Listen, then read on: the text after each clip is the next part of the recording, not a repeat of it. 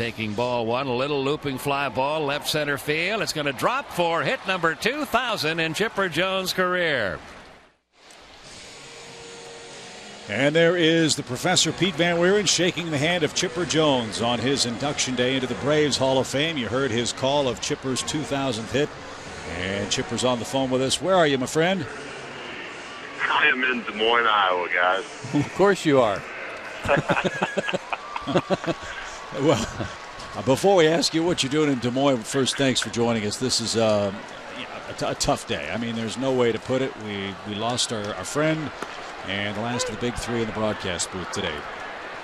Yeah, it's a it's a really tough day for for Braves country. I was uh, sitting up here. I got up this morning. Usually every morning, I wake up and I get on my phone to catch all the previous days and nights news. And when that came across my my timeline on Twitter, it was uh, I think my heart dropped a good three or four inches. It was just one of those jaw-dropping moments in my in my life where I just had to sit there for five minutes, you know, in, in shock that that he was he was gone.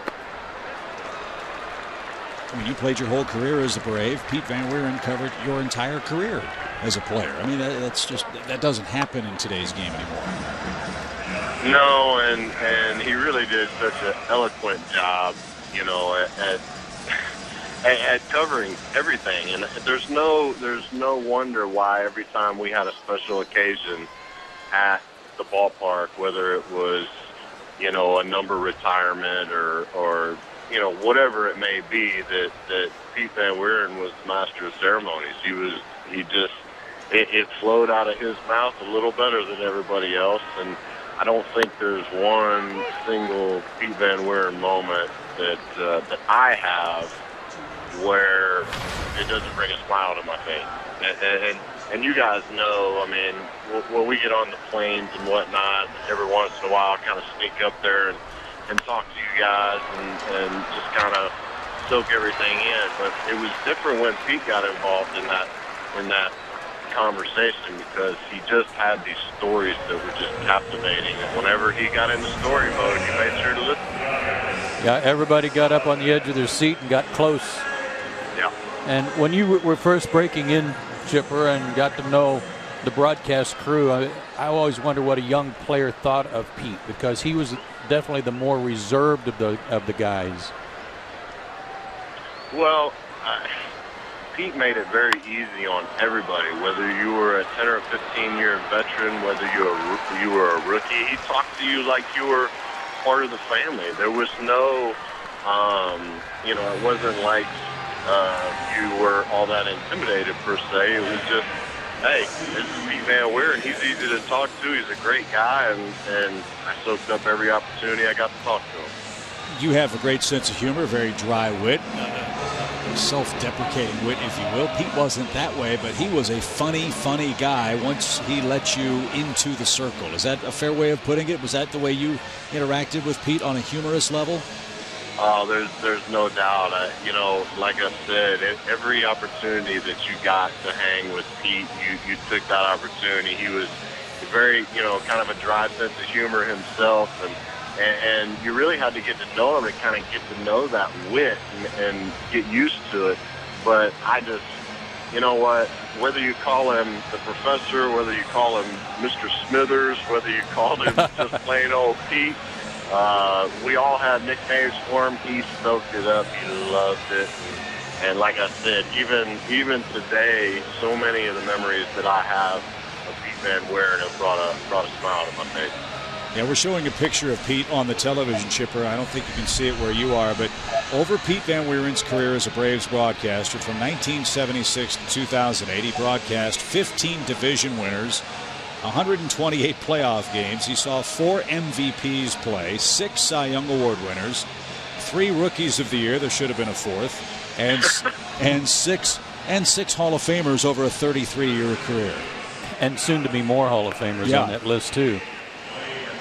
Well, he's uh, he, he, we we had a good run here in Atlanta, and I can't think of a better guy to, to sit up in the box and and kind of neutrally call every single inning. You know, I didn't get a chance to watch much of it. I did a little before I got to the big leagues, but Pete was, oh man, he was just so eloquent. You just you just really kind of got wrapped up in the game whenever he was talking the game, and and if you got a chance to, to to get a story out of him or get some stats out of him or some little nugget or tidbit that you didn't have a snowball's chance in hell of knowing. He knew it, you know, and and uh, like I said, just being able to soak up everything you could from him. It was it, it was a pleasure for me to sit in his presence you know, as much as I could. Only really chance I got to do that was on the plane rides, and man, we had some great plane rides through the years. And it's interesting how the game has changed from a broadcasting perspective, and I'd love to get your thoughts on this uh, from a modern player's perspective.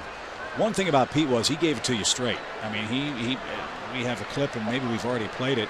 He never broadcast a game to please a player, a general manager, a team president, or a broadcast executive. He broadcast the game for the fans. And if he saw a player not playing well, he said so. As a player who today's player, I, think in many ways they they want to be skin. want to be loved on. Yeah. Um, Pete didn't. Really, yeah, they have to have their ego massaged. Yeah, and bit, that yeah. that wasn't that wasn't Pete's way of doing it, and he was able to. Uh, broadcast for so long with complete direct honesty, and he always had the truth on his side. As a player, you had to respect that, didn't you?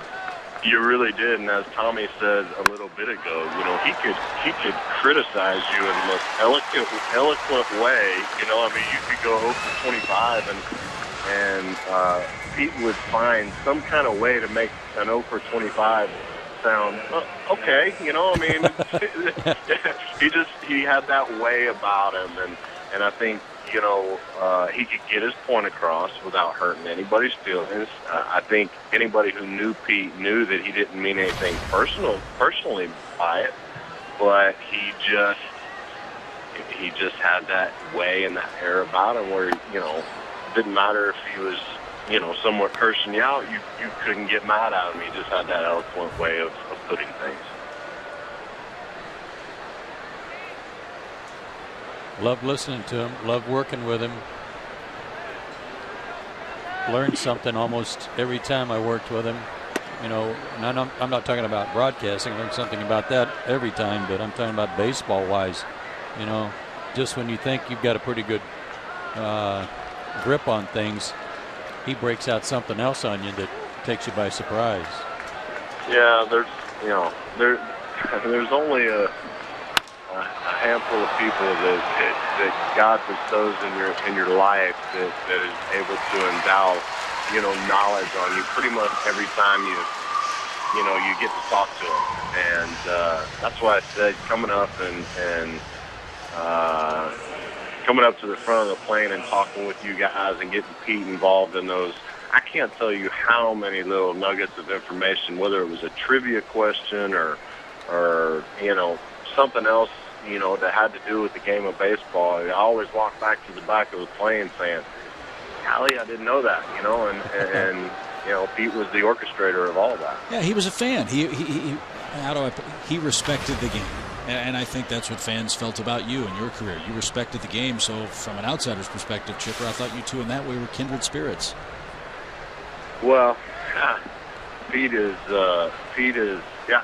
I just I can't help but but think of the uh, drinking session that's going on up there. Tonight. It's a beauty. It's a. it, it, it's got to be. I'll bet uh, Ernie Senior and and Chip, your dad Skip, are, are just tipping a few back back there, just kind of sitting back in their lounge chairs and just reminiscing over so many years of great baseball, so many years of great calls. I just, uh, I almost wish I, I was a a fly on the wall to be able to listen to some of the stories that they're going to tell today. There's a Manhattan. There's a, there's a double Beefeaters, and there's about six Heinekens on the well, table. I don't know. I don't, I don't know who drinks what, but I can assure you that they're going to uh, probably fall asleep in those lounge chairs tonight. what do you think? and the best news of all, Chipper, un- unlike Lefty O'Doul's, they're not going to run out of anything. Yeah. Well, well, they they certainly deserve it, and I'm uh, you know today is a, a sad day, but um, you know because Pete Pete is gone, and and all those all those guys are up there looking down on us, uh, having a smile. But like I said, I just I, I can't think of. I always called him Mr. Smithers when he walked up to my locker, and I can't I can't uh, not think of Mr. Smithers and, and and not crack a little bit of a smile. Well, Chipper, I know he appreciates that. I'm sure Elaine and the family appreciates that. We appreciate you taking time to join us tonight. Thanks. My pleasure, guys. Thanks, Chipper. All right, Braves Hall of Famer Chipper Jones, somewhere in the cornfields of Iowa.